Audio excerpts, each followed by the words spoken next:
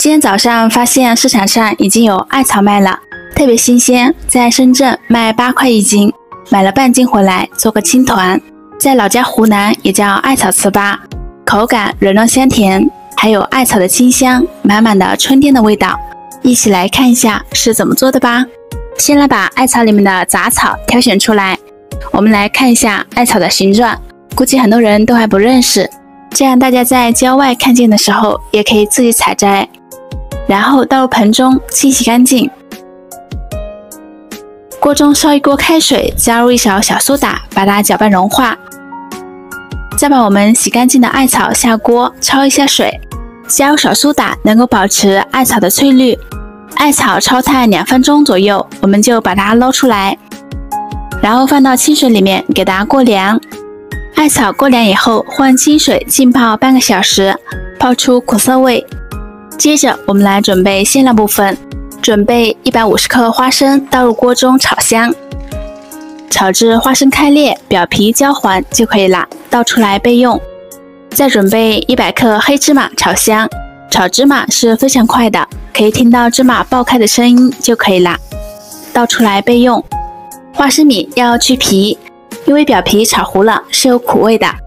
过滤出花生皮以后，倒入破壁机中，黑芝麻也倒进来，一起打碎。打碎后倒入碗中。再加入一百二十克红糖，搅拌均匀，这个馅料就准备好啦。浸泡过的艾草稍微挤干水分，然后把它加到料理机中，再加入一点点的清水，把它打成细颗粒。没有机器的话，用刀稍微切一下也是可以的，打成自己喜欢的大小颗粒就可以了。然后分次倒入盆中，再倒入三百克的糯米粉，六十克的粘米粉，也就是大米粉。再加入三十克白糖，然后下手和成面团。加入粘米粉的目的就是吃起来不会太黏，口感更加 Q 弹。面团揉成这样就可以了。再揪一小块出来，把它按扁，再把它放到锅里煮熟，大概煮一两分钟。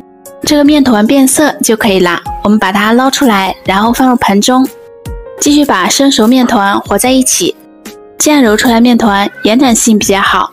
包的时候不容易开裂，刚开始揉的时候会比较粘手，可以适量的添加一些干粉，等一下就会越揉越好。这个面团揉成像这样比较光滑，不粘手不开裂就可以了。然后我们取一团，大概四十克一个，不用的面团要密封起来，这样不容易风干开裂。包的时候像这样，先搓成一个小圆球，然后用双手拇指搓出一个小窝就可以了。再放入两勺馅料，一定要按压紧实，然后像这样用虎口收拢，最后收口捏紧，一定要把它捏紧哦，不然会露馅。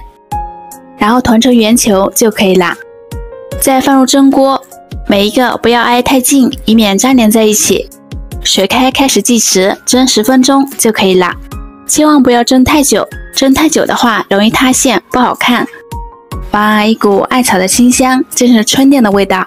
稍微放凉一点点，它的颜色就变深了，因为里面加了粘米粉，吃起来不会太黏，软硬适中，口感刚刚好。做法也特别简单，喜欢吃艾草糍粑的朋友，赶紧收藏起来试试吧。我是冰冰，我们下期再见。